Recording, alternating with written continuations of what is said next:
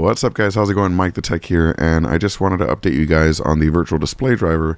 There is actually a massive, massive update um, in the next beta, or in the current beta that is out now, and I wanted to kind of talk about it and talk about how this uh, came to be. So first of all, huge shout out to uh, Jocke and Bud.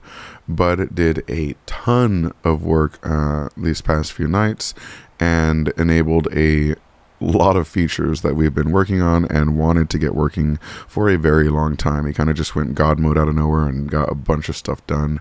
Um, really excited to be able to push these out to the public. And uh, yeah, let's talk about what some of these updates are.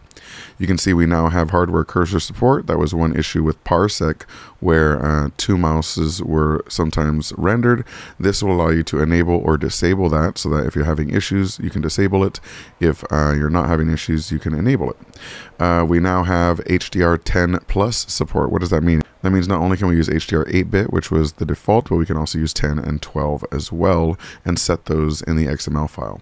Next, we have custom EDID support. You can toggle this in the XML and you can use a uh, user underscore EDID bin in the um, folder that you have your driver in and it will read the EDID off of that. Now, this isn't going to pull the resolutions from it. It's going to pull the uh, device information and uh, relevant information that the driver needs to uh, treat it as the same display.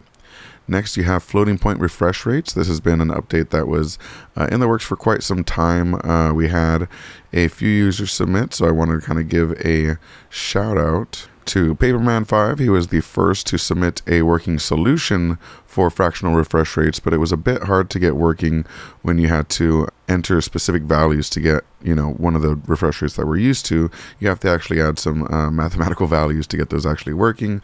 So instead, uh, we ended up integrating floating point refresh rates directly in the XML file so you can type in what refresh rate you specifically need.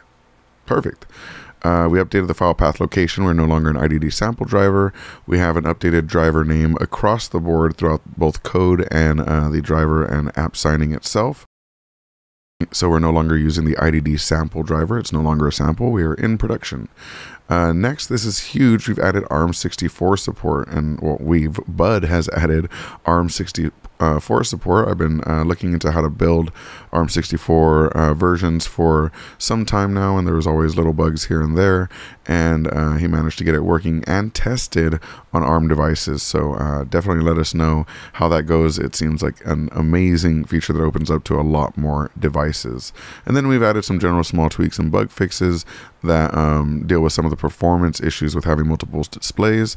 Uh, we're still working on that, but yeah, thank you so much for. Um, all the contributions from Bud and Jocke, and I'm excited to hear what you guys think. All right, thank you so much for watching, and hope you have a good day. Peace.